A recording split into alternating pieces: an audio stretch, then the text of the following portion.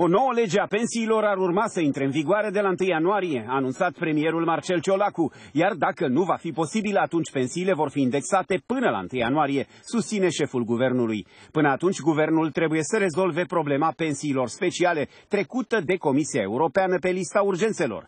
Potrivit unor surse, oficialii de la Bruxelles ar fi propus un impozit de 20% pentru aceste venituri.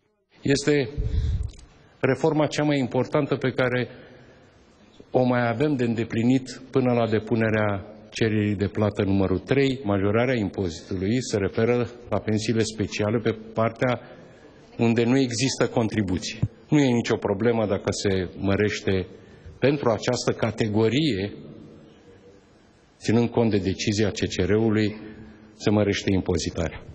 O altă prioritate e pachetul de măsuri fiscale și de reducere a cheltuielilor publice. Restructurarea în ministere ar urma să înceapă în octombrie. Premierul a discutat principiile cu reprezentanții Comisiei Europene și a obținut votul social-democraților din Consiliul Politic Național pentru asumarea răspunderii. Conținutul concret al pachetului rămâne să fie stabilit.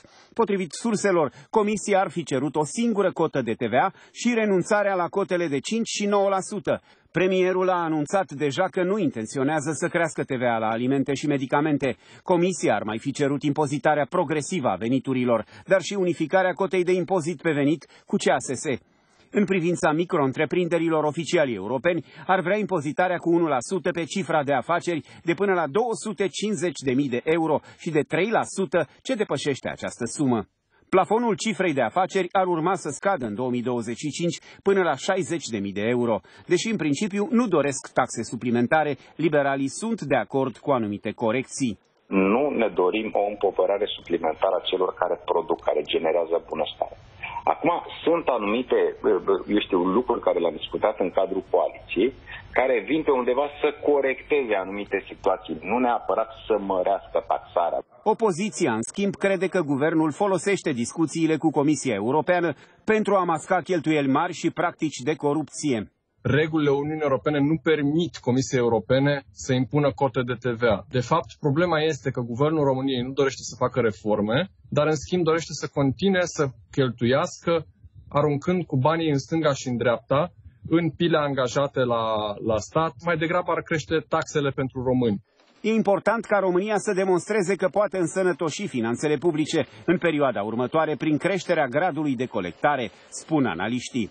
La noi colectarea scade în timp ce și se situează sub 35% uh, din PIB, în timp ce în Uniunea Europeană colectarea se îmbunătățește. De mult trebuia intervenind asupra diferențierilor de TVA. Însă toate aceste măsuri încă neclarificate ar putea pune presiune pe coaliție, odată cu asumarea răspunderii în Parlament.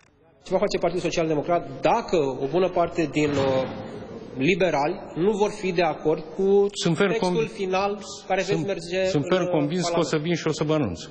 Eu nu pot acum să presupun cu dumneavoastră dacă cineva... Se votează moțiunea, dacă va exista în primul rând o moțiune. Se votează moțiunea ca de guvernul nu aduce Ciolacu, primul ministru, într-o mapă sigilată, închisă, vine o trântește în Parlament, nimeni nu știe ce cuprinde, trece și fucuia repede la guvern.